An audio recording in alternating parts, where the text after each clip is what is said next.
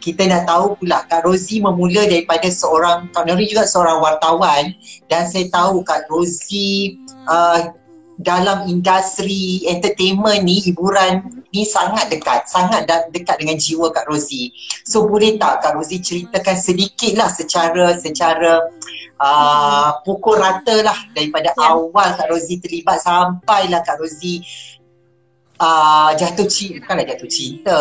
Maksudnya bersetuju untuk menjadi uh, PA ataupun manager untuk uh, uh, bidu wanita kita Datuk, Datuk Seri Siti Nurhaliza. Okay Kak Z um, di Kuala Lumpur dulu Kak Z belajar. Okay waktu belajar uh, ada cabaran sikit sebab uh, family Kak Z susah pada waktu tu. Jadi Kak Z bekerja sampai belajar. Jadi Kak Z kerja tu sebagai wartawan. Okay Kak Z oh. mula dengan Waria Pop uh, Hifi Kak Zee mula oh. dengan Waria Pop Lepas tu Kak Zee pergi ke Era Baru Lepas tu Kak Zee pergi ke majalah remaja So Kak Zee pernah sebumbung lah Kira dengan Kifi Sekarang kau? Kak Zee, ada, ha, Kak Zee dengan majalah remaja Kemudian Kak Zee pergi ke utusan um, Pada waktu tu Waktu Kak Zee um, jadi wartawan tu Datuk Siti kan uh, dah dah mula jadi uh, artis pada waktu tu. Jadi um, banyaklah kiranya yang yang Kak Zee uh, guide dia, nasihat dia. Tapi lama-lama macam eh ni satu bidang lain pula untuk Siti macam uh, Kak Zee berhentilah dia kata uh, manage dia secara secara profesional tapi sayang sebab cita-cita Kak Zee daripada sekolah memang nak jadi wartawan. Uh, oh. Cuma Kak Zee beritahu Datuk Siti Kalaulah betul Kak Zee harus meninggalkan bidang ni Sebab Kak Zee agak uh, dah establish kan masa itu kat utusan. Tapi macam sayangnya nak tinggal. Kak Zee pun sayang nak tinggal ni Sebab Kak Zee tahu untuk manage tak boleh manage suka-suka kan? Dan Betul. pada waktu tu Kak Zee pun lihat perkembangan kejayaan Datuk Siti pun semakin baik. So Kak Zee ambil keputusan okey lah Kak Zee berhenti. Tapi dengan syarat Kak Zee kata kita mesti ada office. Kak Zee nak manage dia secara profesional ada office. Uh, maksudnya betul-betul kita buatlah kerja management ni betul-betul. Uh, itu yang Kak Zee mula berhenti daripada utusan tahun 1999 dan Kak Zee terus kerja dengan Tok Siti lah sampai sekarang. So 23 tahun kot uh, macam tu. Secara profesional lah hmm. 23 tahun sampai sekarang masa jadi wartawan berapa tahun Kak Zee?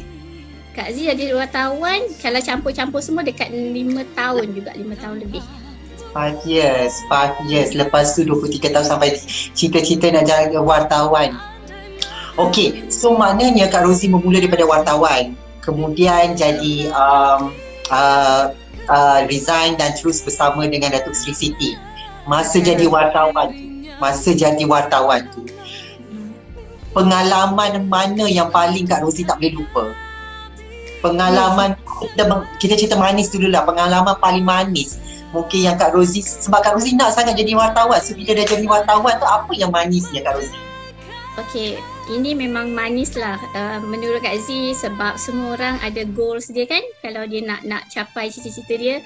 Kak Z um, pernah uh, uh, berada dalam press conference sekali dengan Shah Rukh Khan sebab Khan tu memang Kak Z suka kan kita zaman tu Hindustan kan so bila Khan depan mata tu macam wow um, sibuk jugalah ambil gambar jauh-jauh kat Z ni kan. Padahal dia orang kan tak bagi kita ambil gambar kan. Lepas tu masa konsert uh, Michael Jackson juga dekat Stadium Negara. Uh, walaupun hmm. dengar suara Michael nyanyi dari luar tapi tapi berada di luar stadium tu satu orang kata kenangan lah. Kalau uh, kalau lah um, Kifi boleh ingat arwah Hanif dulu media hiburan punya editor. Uh, Kak Z bersama beliau lah tu di di Negara. Uh, sebab ni macam ni, um, kami tak boleh masuk sekaligus. Uh, jadi kat kami kena uh, apa kena share tiket tu. Uh, jadi uh, disebabkan bos Kak Z pun pada waktu tu pergi Of course dia, dia takkan keluar lah kan. So dia je masuk kat dalam pada waktu tu. Uh, Tapi um, uh, semua perjalanan dia daripada dia datang tu kita boleh nampak lah. Itu paling Kak Z paling best lah. Dan banyaklah. Sebenarnya uh, dulu macam Kifi pun Kak Zesa Kifi pun ataupun kebanyakan uh, media sekarang ni pun buat perkara yang sama. Artis dengan media tu adalah kawan sebenarnya kita tak boleh kita tak boleh rasa macam uh, ada gap dari segi pekerjaan sahaja tapi macam kawan jadi Kak, Kak Z dulu semua artis kawan uh, so Alhamdulillah banyak artis yang kita interview dulu sampai sekarang jadi kawan uh. Memang Dan memang Saya salah Kak Rozi siapa? Datuk Siti masuk dia bagi dia bagi salam. Salam.